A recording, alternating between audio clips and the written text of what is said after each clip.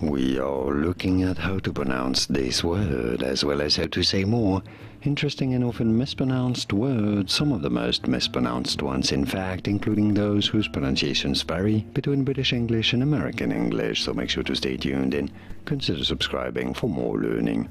How do you say it? Well, the British and American pronunciations are different.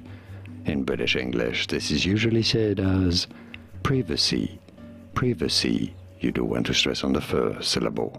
In American English, however, it is generally said as privacy, privacy in American English or privacy in British English. And now you know. Did you get this? Was this any helpful? Let me know in the comments and by using the like button.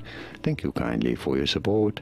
Here are more videos on how to pronounce more interesting words and names whose pronunciations aren't always obvious. I'll see you there to learn more. Thanks for watching.